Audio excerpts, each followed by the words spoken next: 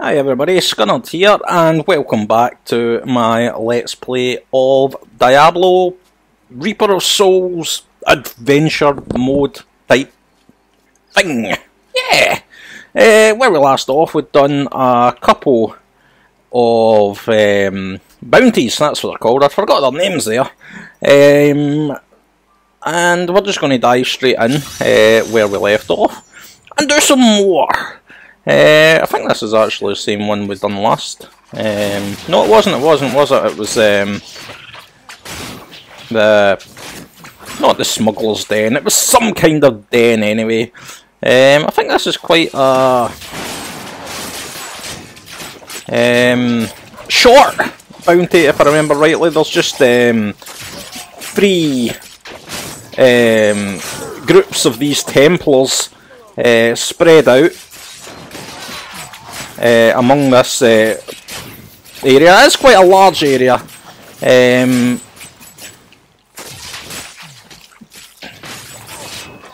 and I got stunned. Uh, it is quite a large area, but uh, if I remember rightly, the villagers are all fairly close together, unless they move. I don't think they move though.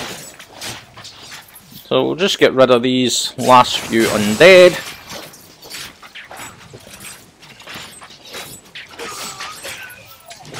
I have my pitiful little dagger that I made in the just at the end of the last episode. But it's higher damage than um, the sword I was using previously, so all good. It wasn't letting me attack there uh, because it was too busy trying to free the villager. One more undead. And let's free this guy. Or girl, it's a girl. And she is off. If I remember rightly, they are all... Uh, they are all relatively close together. But it has been a while, so maybe... I mean, I haven't played much Diablo in this patch at all. Uh, so it's very possible that they could have moved. I don't know. But we'll need to get this, um, we'll need to get a mightier looking weapon than this dagger, I think. Uh, very soon, because, dearie me, it's just not impressive to look at. I think you can get flails and the likes for the, the Crusader. As I said in the last episode, never played with a, a Crusader before. Um, so I don't actually know what weapons are unique to them. I've seen, I've picked up some flails uh, while using my other characters. Uh, so I assume um, those can be used by the Crusaders.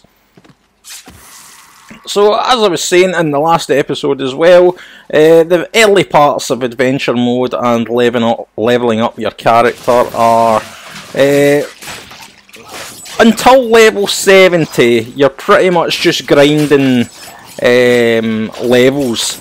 And then once you're past level 70, you're then grinding for legendary um, weapons and armour. It sounds boring, it's not, it's wonderful. uh,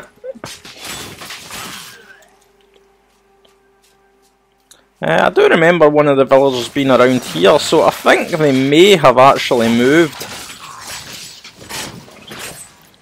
Otherwise I'm just a little um, disorientated. That a high-level cleric of the named Akkhan began to sense the corruption that was eating away at the heart of his faith. He knew this corruption would eventually destroy his beloved church, and that he must take action.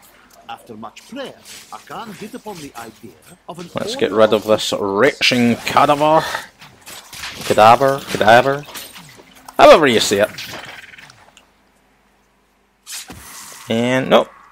Uh, I was a bit disorientated. This uh, villager and Nick's group are in the same place as what I uh, remember them being in previously.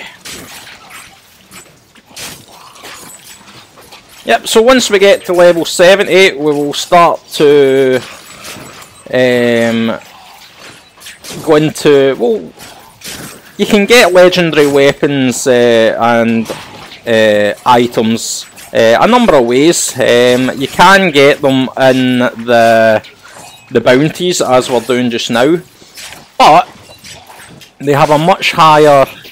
Uh, I think in the bounties and just in the the random game world, uh, game, not the random game areas, but in the game areas, the chance of uh, getting a legendary weapon is uh, one I believe.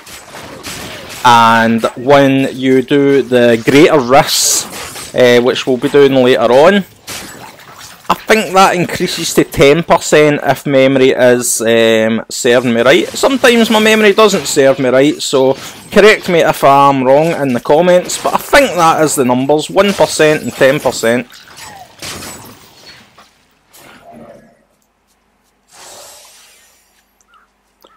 And here we go, here is the group of Templars.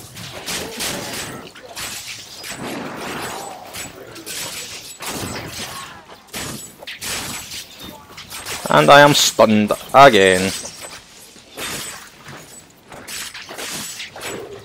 That shield bash is pretty damn powerful, I have to say.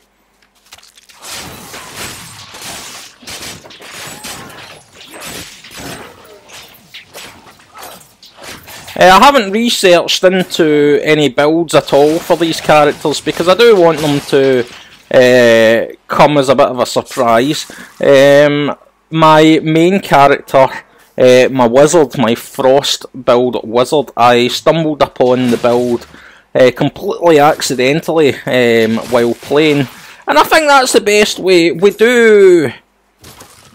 That could be a better weapon for us. I'll check in a little second. We do want to make mistakes. Um, because if we don't make mistakes and have uh, poor synergies in our um, setup, then we're not going to know what is really good when we come across it. Because for my wizard character, I was doing uh, there's two way main ways that a wizard can really go. There's flame and there's frost, and I was um, in the early part of the game. Uh, flame definitely seemed to be the way to go. Uh, the damage output was higher um, than the frost equivalent. But um, one, two, holy damage. I'll stick with my puny little dagger for now. Um, but in the later game, uh, once I started experimenting, uh, it turned out that um, we had we do have another I think I like the blinding for now. We are due to unlock a rune for that pretty soon, so we'll stick there. Um, don't think I've unlocked any more runes for these. No, I have not. Um, so, yeah, I think experimentation is the best way uh, to go for characters uh, builds in Diablo because what I would say is what works for others may not work for you and certainly not in every situation. So I find it is best uh, to experiment and see how things go. I'm just going to go grab this uh, double damage orb, and there we go. That sped that up a little bit. And this bounty is almost done.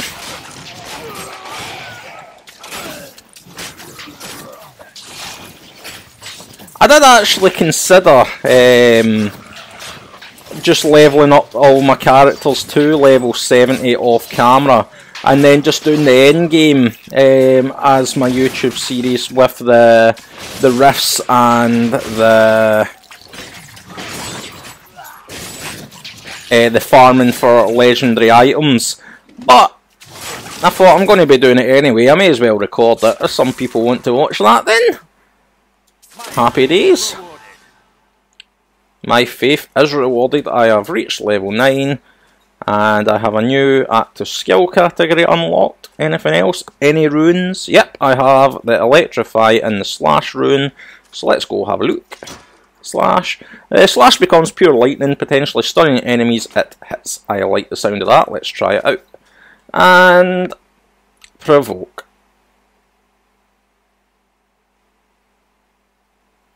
Um, yeah, okay. I'll give it a go.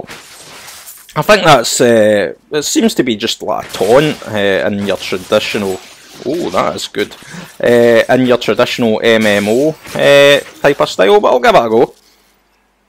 Um, let's return to town, and then take another bounty.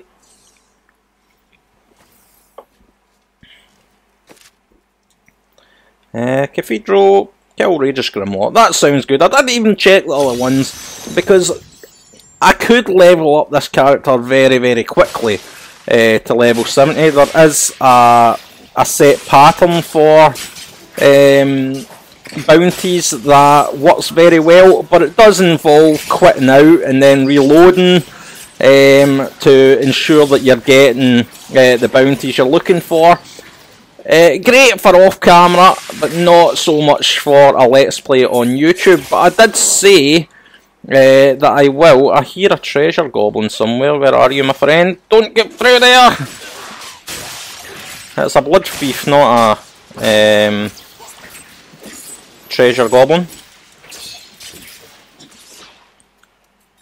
Come here, you little beggar.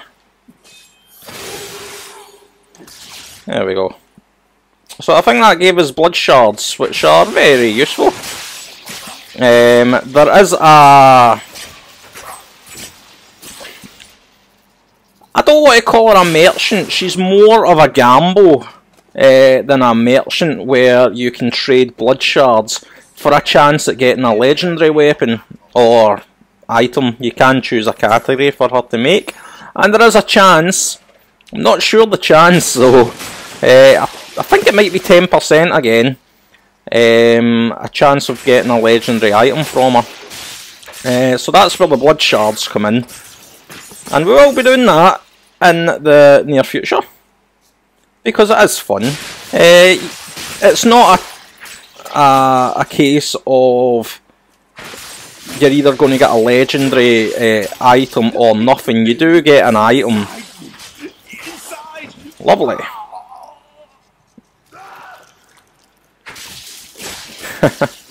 um, you don't leave empty-handed, uh, is what I'm trying to say. You do get some, uh, you do get an item. It may not be a legendary, it may not even be a good item, but you do get something, so it's not completely... I do remember when they first introduced her though, it was much cheaper. Um, like now it's like 75 uh, blood shards per item, but back in the start, I'm, I'm pretty sure it used to be five. Uh, but obviously they've patched it, um, they've nerfed her a bit. Um, but I think they have actually increased her chance to give you um, a legendary item, but just made it more expensive to try. Again, I'm only going from memory and I've not played in a fair while, so don't quote me on it, and please do uh, correct me if I'm wrong.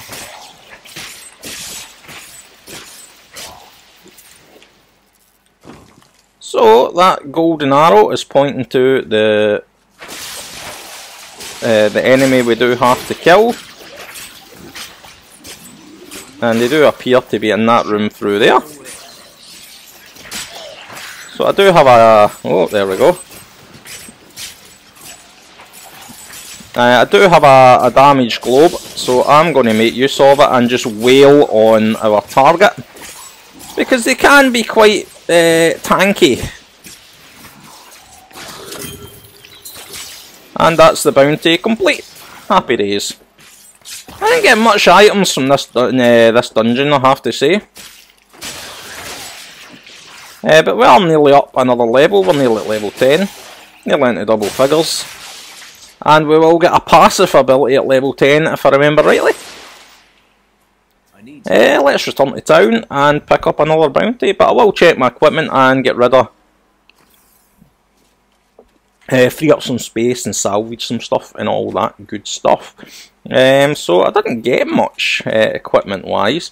Uh, gold pickup, that is absolutely no use to me. Uh, range and melee attackers take 1 damage per hit. I would rather have the 15 vitality if I'm being honest. So let's salvage all this stuff we don't want. And see if there's anything else that has to be junked. There is nothing, so happy days. Uh, this is the, the woman I was telling you about here. Uh, so yep, she is 75 uh, blood shards for a weapon, 25 for armour, 100 for amulets, and 50 for rings.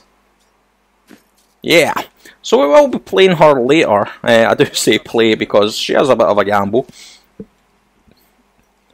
And let us, I'll check my merchant very quickly just to see. Did you? I think I might. Uh, 3 to 4 damage, 12 vitality, 2 life per hit, and 3 experience per kill. Slightly less damage, I'll just stick with what I have, uh, to be honest for now. Now there are, I have no mail, nobody's been sending me any uh, items. Um, there are some new features um, to that have been added to adventure mode in the latest patch, and I'm trying to remember what they are. Khazra Den, I've done that in the last one. Uh, bound to the Cursed Camp, let's do that one in the Southern Highlands. Southern Highlands can be quite um, difficult. There's these flying enemies that I'm just about to encounter right here actually that can't, yep, these ones here. These can do plenty of damage to you and cause you a bit of bother if they do catch you unaware. Uh, so that is the, the passive item uh, unlocked as uh, as I thought. Uh, what else was I saying? I was saying something and then I forgot what I was saying. That's not so good. Uh, so let's see, passives, what have we got? Well, wielding a one-handed weapon, your attack speed is increased by 15% and all cooldowns are reduced by 15%. That is really good. You can wield a two-handed weapon in your main hand while bearing a shield in your offhand. That is really good. I'm going to use that when I get a two-handed weapon. That that almost seems too good. So I'll need to see how that works um, when it comes to it.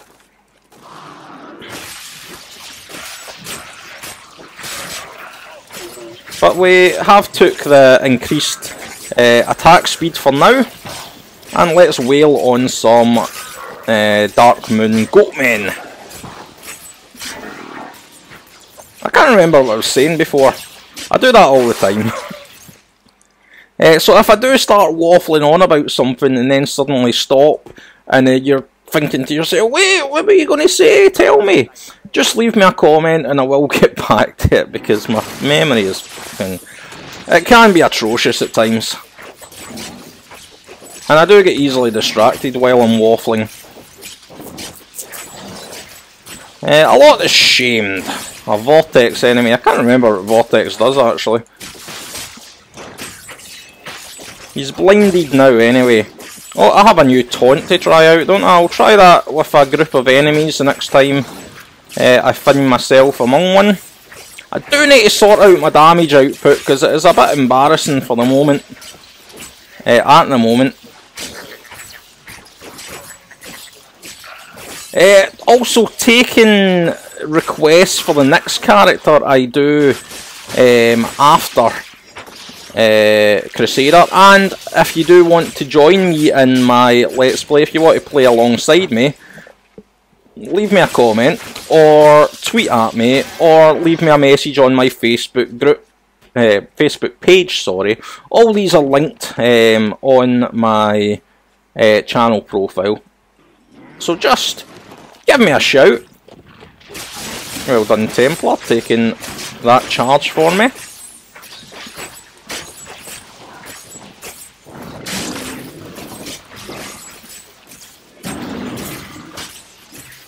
I know it does seem very easy. Uh, the game does seem very easy just now um, if you're watching, and it is. Uh, it is very easy. But what I'm going to, I'm, I'm going to be putting the difficulty up uh, very soon.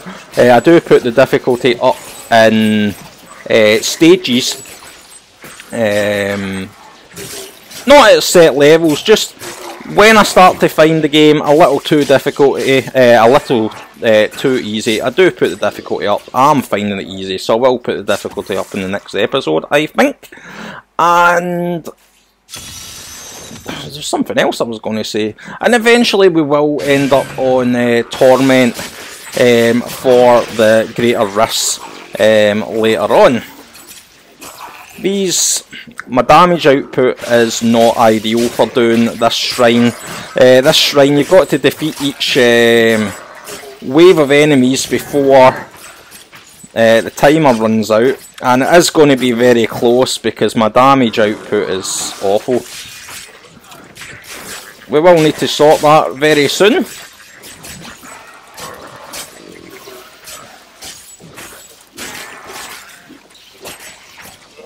I'll be very surprised if I manage this.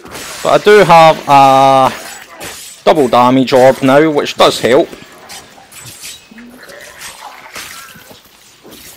And another one.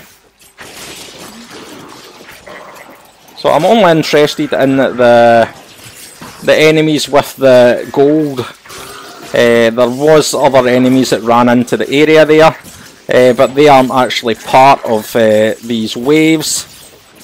And I'm missing one. I think I did manage to do that. I think I was to clear five waves, and I did clear five waves. So I have this champion here to deal with. Nobody gonna give me a weapon? No?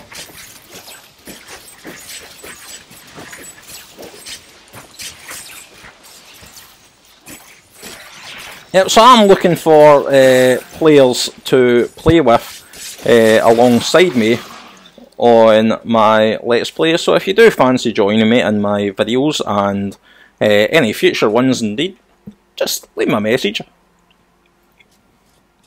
And I'll get back to you. I'm playing on PlayStation 4 of course, so you have to own uh, a copy of Diablo uh, free on the PlayStation 4. Did I say PlayStation 3 a minute ago? I'm playing on the PlayStation 4, just to be very clear. Um, Alright, so what did we get? I got a Shiv, absolutely no use. Um, plus 10 dexterity is no use to this character. We are a strength based character. Uh, salvage these. Happy days. Let's see if this merchant has anything. Nope, just the same.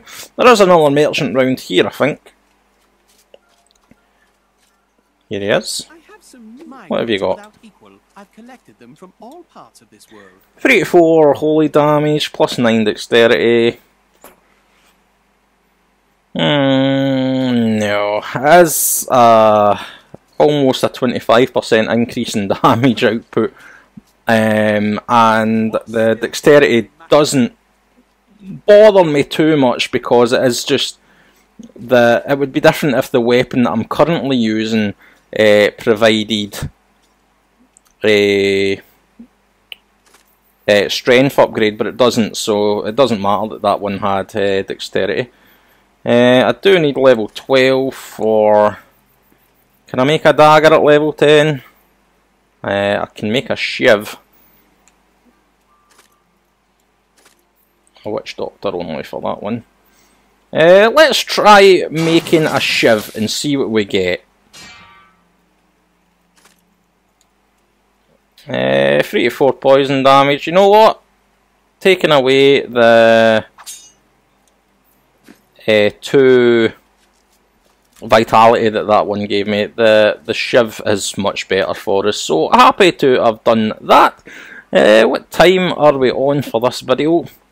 Because that has done two Yep, uh, what I'm going to do is I'm going to leave this video here, uh, but join me uh, in the very near future for the next episode where I will continue uh, my Crusader playthrough and then on to the other um, characters. If you've enjoyed this video, please leave me a thumbs up, it means a lot, helps the channel grow, and of course hit the subscribe button for more videos in the near future. Thanks for watching, bye bye!